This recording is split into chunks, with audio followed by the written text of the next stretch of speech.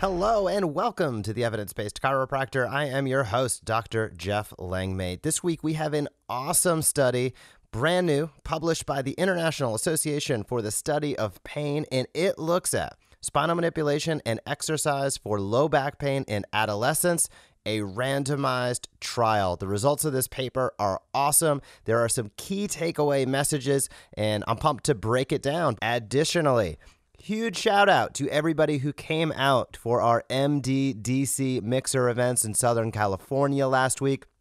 It was awesome. Hung out in Beverly Hills in Marina Del Rey one night, drove on down to kind of Oceanside, San Diego area on the second night. Had a ton of fun. I think it was a great experience. I plan on doing much more of these in the future. So keep your ears and eyes peeled in 2020. I want to deliver as much value as possible. I think one of the uh, one of the things that I'm able to do is sort of generate those referral relationships. Obviously, that's the heart of what we do within the evidence-based chiropractor from a membership standpoint.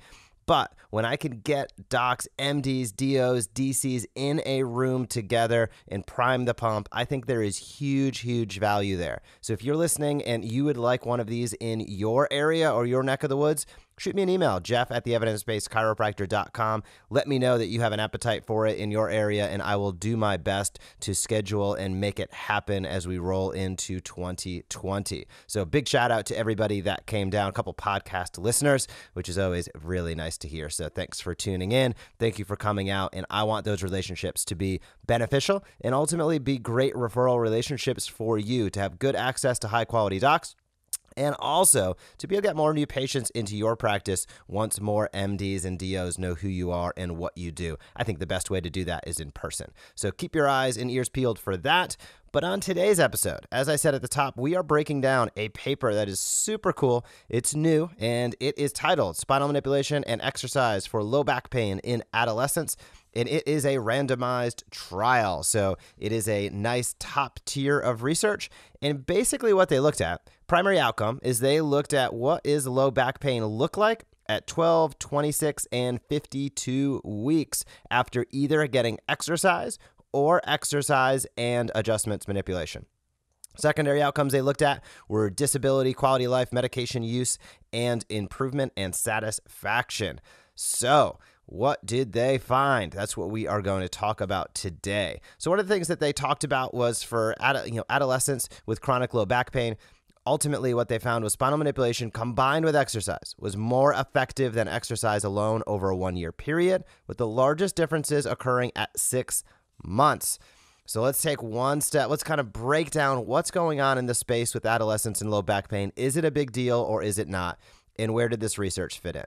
So the authors of the study point out United States specifically is in the midst of a massive and unprecedented pain management crisis.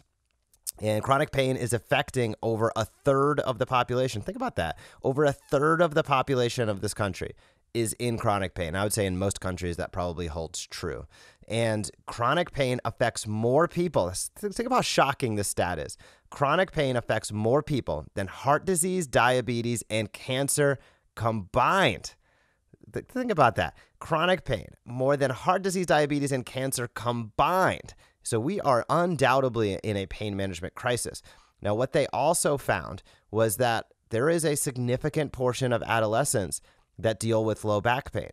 And if you have low back pain, chronic low back pain as an adolescent, it's a high likelihood or correlative to you experiencing low back pain when you get older. So then we say to ourselves, okay, well those those kids, quote unquote, are probably receiving conservative care. Well, you might want to think again. The researchers found 20 to 40% of adolescents receive opioid medications for their spine pain. This is despite the fact of all of the guidelines we've seen come out, all of the emphasis we've seen on conservative care, all of the emphasis we've seen on things such as chiropractic care before even starting NSAIDs, we still see 20 to 40% of adolescents with chronic low back pain or back pain in general receiving opioids. So, again, this goes hand in hand with the fact that recent guidelines for low back pain in adults strongly recommend manipulation as well as exercise prior to initiating any pharmacological treatment. So there is a divide here. That divide, in my opinion, is the opportunity for you to reach out, for you to have these conversations, for you to understand exactly this type of research so you could get it out to the people in your community. It is unbelievably important and it can undoubtedly save lives. So when they looked at who enrolled in this study, well, for many of the people, the duration of back pain was more than one year in over 70% of the participants. So think about that. You know, people, you know, adolescents, 12 to 18 years old, almost three quarters of these kids had back pain that was more than one year. So easily meeting the chronic threshold, let's say, of three months. And with a mean severity of 5.3 out of a 0 to 10 VAS scale. So they're rating it over a 5 out of 10 in over a year in duration. 11% of the individuals in the study had radiating pain to the leg and more than half reported having treatment for back pain in the past. So these were people in, let me break that down. Majority of people, chronic pain over one year, at least five out of 10 on the pain spectrum. 11% had radicular components to their pain, and over half had already experienced some treatment in the past. So, by all accords, this would be considered a pretty tough group to get good results with, right? Chronic pain, had treatment in the past, some radicular symptomatology, 5 out of 10. So, it's not that, you know, 9 out of 10 that you can chop down to a 5 and somebody's that's life-changing to somebody, and it's not a 1 or 2 out of 10 where it just comes and goes. It's that consistent, constant 5 out of 10 pain for over a year. That's typically very, very difficult to treat which also reemphasizes how great the results of this study were. So, I want to break down a couple of the stats. Uh, this gets a little bit heady, but I think it's important to really understand. Based on the adjusted means for reduction in pain severity on a 0 to 10 scale, there is an advantage of half a point for spinal manipulation plus exercise over exercise alone at the end of 12 weeks by over a point at 26 weeks and by just about a point at 52 weeks. So when I say a point, if we're using a 0 to 10 scale, right, that would mean a point is about a 10% reduction. So I'll say that one more time based upon that. On a 0 to 10 scale, at 12 weeks, uh, spinal manipulation plus exercise was a half a point better than exercise alone. It was over a point better at six months or 26 weeks. And it was just about a point better at 52 weeks. So important there. Secondary portion, we'll break it down a little bit of a different way. On average, the difference in proportions for reduction of low back pain severity across all possible thresholds for improvement favored manipulation plus exercise by approximately 7% at 12 weeks, 17% at 26 weeks, and 10% at 52 weeks. So just saying the same thing a different way. But the bottom line is we can see right there 7%, 10%, 17%. When chiropractic care, when spinal manipulation was added above and beyond exercise alone, that's a significant that's a, a, an average of over a 10% improvement or reduction. So that is a very very big deal in my opinion. Now furthermore there was some more exciting things coming up here. They found that in the spinal manipulation and exercise group experienced significantly greater satisfaction alone than exercise only so let me say that one more time. Spinal manipulation plus exercise experience significantly greater satisfaction than exercise alone at all time frames at 12, 26, and 52 weeks. And most important, both groups reported approximately 80% reduction in medication use at the end of treatment, which was sustained during the entire follow up period. An 80% reduction in medication use. As we talked about earlier, third of people on walking around have chronic pain. 20 to 40% of adolescents are being prescribed opioids, which is unbelievable and should not be happening. And this study not only showed that exercise, people can find improvement with exercise, these adolescents for low back pain, but when chiropractic and spinal manipulation is added on top of that or in conjunction with it, the results are far better to the tune of being statistically and clinically significant and there's an 80% reduction in medication use, not only during the treatment, but throughout the entire follow up period.